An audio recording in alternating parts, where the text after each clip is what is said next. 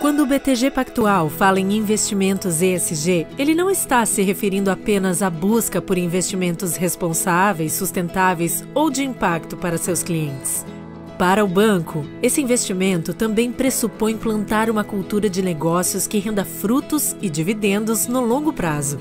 Investir em ESG para o BTG também significa educar e orientar seus clientes para que entendam o tipo de investimento que pretendem realizar além de treiná-los para que consigam enxergar com transparência se os negócios onde pretendem investir atendem aos aspectos que consideram relevantes. Para investir com propósito é preciso informação clara e qualificada. Eu acho que as pessoas, de maneira geral, acham interessante questões ambientais e sociais, mas não sabem como que isso pode se traduzir nos seus investimentos.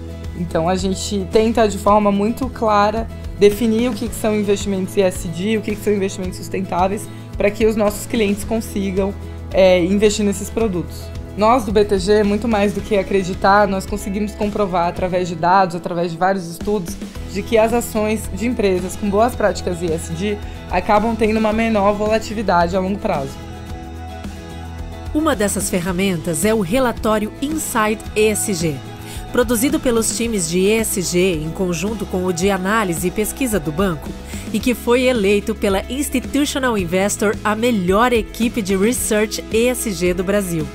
Produzidos desde março de 2021, os relatórios trazem uma visão ampla do mercado e de como os conceitos ESG vêm sendo implementados no Brasil e no mundo, abordando um amplo espectro de tópicos que vão desde conceitos básicos sobre investimentos ESG até informações sobre os índices relacionados a ESG na B3. Os relatórios também mostram o que cada um leva em consideração e quais são considerados os principais benchmarks para aqueles que buscam investimentos ESG.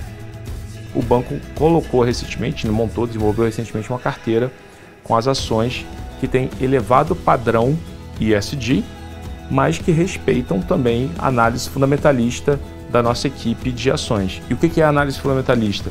Nada mais é do que uma análise que ela conjuga né? tanto a análise qualitativa do modelo de negócio da empresa, histórico dos executivos, também padrões de governança, com análise quantitativa, que é uma análise focada justamente na projeção dos demonstrativos financeiros, dos balanços dessas companhias.